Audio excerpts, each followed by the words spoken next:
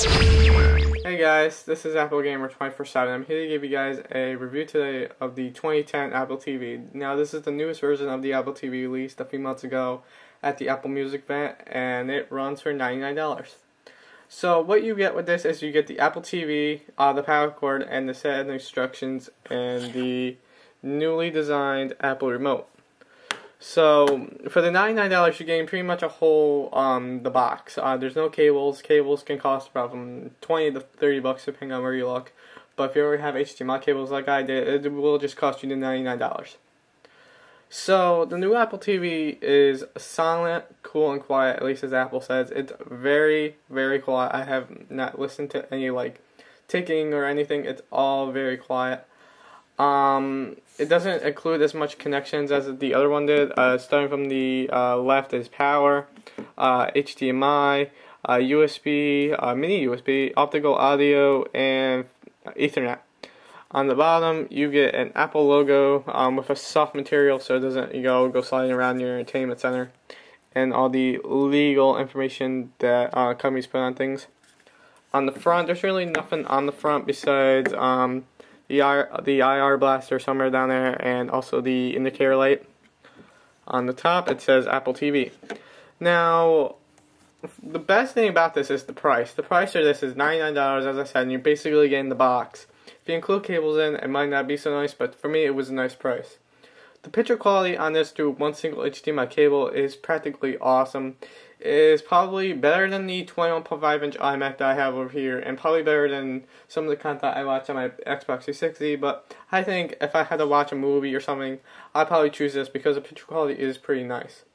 I also like that the new Apple Remote is included, um, so I don't have to go spend another 20 bucks on this new Apple Remote, say for another Mac or another Apple TV or something else that uses um, the Apple Remote um, sensor.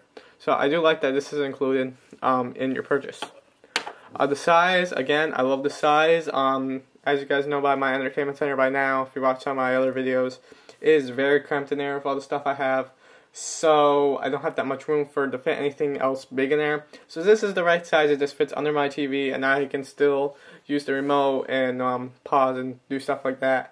As for cooling, um, it actually doesn't really get that hot. I mean, it does get a little hot on the top, it once you um, start using for like an hour, but then it eventually dies down. So it probably never gets hot, which I do like. So I don't have to worry about um, overheating or having a ventilation in my entertainment center. It's pretty much practically cooled. Now, as for the downsides about it is that um, all the cables that you need are not included. As you can tell, it doesn't include the HDMI cable. So you're gonna need to go out and buy another HDMI cable from Best Buy or even Apple. Um, I think has an HDMI cable you buy.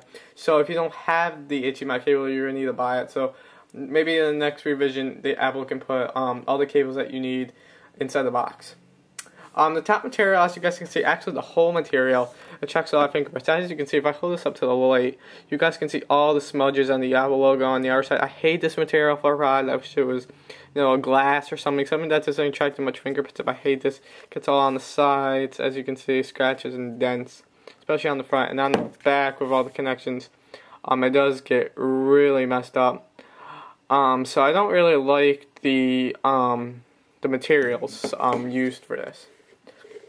And another thing with input, inputs, it doesn't have components. So if you have an older HD TV or you don't have enough HDMI components in your um, TV set, you're going to need to um, buy a switcher to use this. But if it would be nice if Apple could um, put in a component cable so you don't have to go buy one, you can just hook it up with the component cables and still get the same quality as you would get from HDMI or probably just a little bit less with component inputs. But I would like to see component inputs on the Apple TV.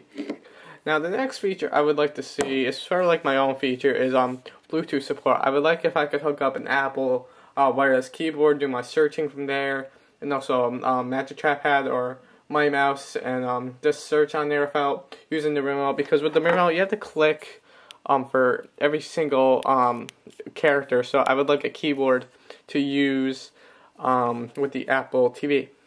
As far as the remote goes, I'm just going to go over the remote real quick. Um, it's basically the six button remote, as you can tell from my other iMac review, just aluminum and really thin. as you can see, it includes a sort of an iPod, um, directional controls. You got your volume up, volume down, your play and pause, and you got your select button. You also got your menu button, which is right there. Um, when you push this, it activates the Apple TV, and you can um, play and pause right there. On the back, um, very solid. You have your battery compartment, and that's where you can stick in your battery compartment. And if you look on the side, it is a very thin um, comparing it to a iPod Shuffle, this is pretty much the only iPod I have right in front of me. It is relatively thin, I guess. I'm not, I'm not even sure if I'm doing this right, but I guess it's pretty thinner than the um, iPod Shuffle. Um, at least this is the second gen, I think, but it's very thin. It says designed by Apple and California, if you guys can see that. So I'm going to do now, guys, is I'm going to hook up the Apple TV and I'm going to give you a tour and a review of the um, software. Alright guys, I got the Apple TV all set up and ready to go, so let's turn it on. And the way you turn it on is if you hit the menu button on your Apple remote. So you press it, turns on. It does take a few minutes for it to get all loaded on uh, my particular TV, but it might take um, a little bit quicker depending on your TV. So here it is, once you get into the interface, um, you got a few options. Starting from the left, you got movies, TV shows, internet, uh, computers, and settings. Now, the settings just covers um, your AirPlay options, your computers you have synced up. So I think you can have up to five different computers connected up to your Apple TV. So if you got your main iTunes machine and then you got an iTunes server or you got another person's iTunes library, they can all hook up to your Apple TV and you can just watch all their content from their um, iTunes libraries. So it covers everything from sound to video to screensaver and general just gives you um, your basic serial number, um, the name of your Apple TV and how much um, space, uh, how much like your IP address and stuff is, but um, in single strength. So I'll probably block out my IP address um, in the video, the editing process. So if you go back, um, so we go back, uh, we get the computer says my iMac across the room. So if I go here, I can look at my music, my movies, uh, TV shows, podcasts, iTunes U, and photos. Um, so that's it.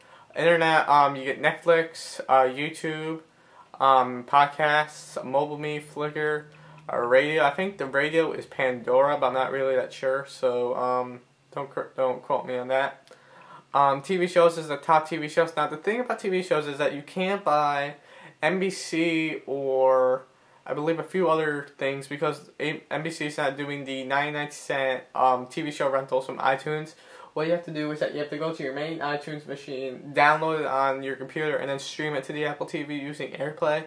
But I done that with a few TV shows, and it looks flawless as if it were directly on the Apple TV itself. So it is very smooth.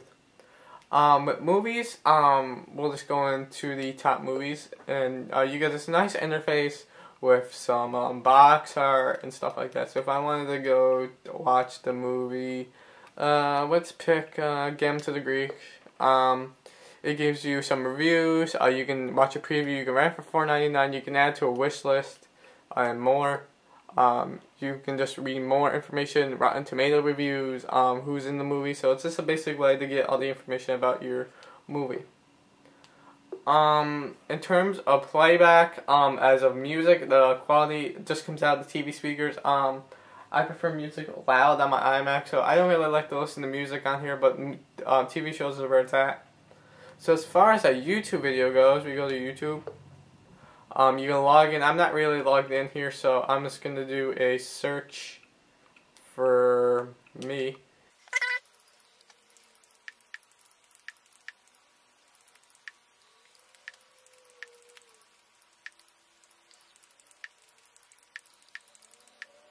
Once you're there, you can pick a video. So let's go down to the Apple TV unboxing. So we click the plus button. This tab to load from the internet. My Wi-Fi connection is not the best right now, so it is taking a little bit longer than usual. And you can view this in standard HD. Um, it's in HD, so I can skip through the movie if I wanted to. I can just um, fast forward through and you know, watch my movie fast forward. But um, the good thing about the Apple TV also is that if you don't have any movies or anything that's not in HD, it will upconvert your movies into high definition. So that's another feature worth noting. Um, overall, the um, the interface of the Apple TV is flawless. Um, I would like to see a iOS um, an app store, an iOS app store for the Apple TV, so you can play games using your iPhone or have a standalone controller you can buy. And also, I would like to see. Um, yeah, that's pretty much it. I don't really think of anything else. Um, if you guys think of anything, post it in the comments. So my overall opinion is that this is the best product you can buy. Um, the most underrated Apple product you can buy. Um, for ninety nine dollars, it's a pretty nice deal. So you're getting a lot of good um, features in a very small package. So that's my review of the Apple TV, guys. Hope you enjoyed, and I will see you guys later.